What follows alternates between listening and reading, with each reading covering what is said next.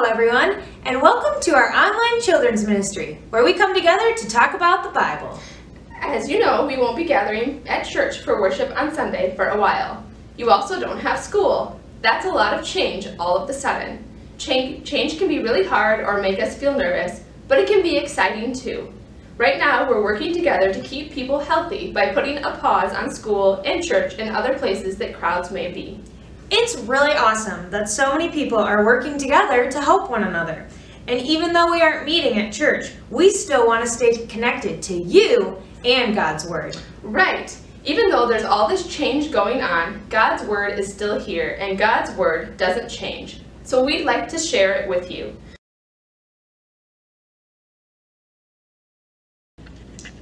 Some people didn't like Jesus, so they tried to trick him with questions.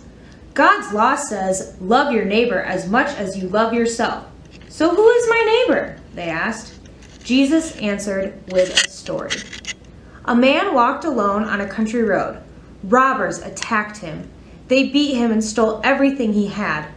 A teacher of God's law saw the man lying in the road, but he passed by without helping.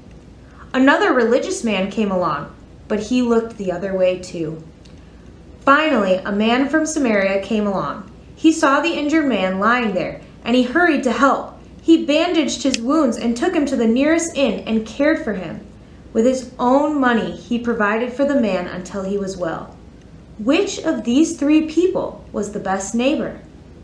Jesus knew that the wise teachers didn't like people from Samaria, but now they had to admit that the Samaritan had done what was right.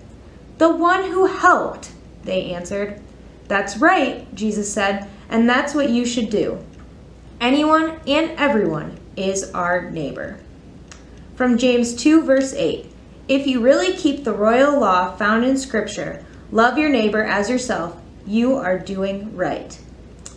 I want you to show love and kindness to those who are different from you, and even to those who are mean to you.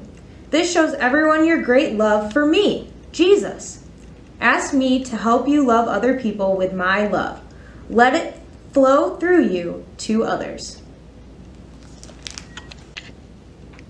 If you're looking for ways to share God's love during this time when we're stuck indoors, you can make pictures or cards for those who may need some extra encouragement. Feel free to mail your cards or pictures yourself, or you can mail them to Pastor Sarah and she'll get them to those people who are looking for some extra encouragement.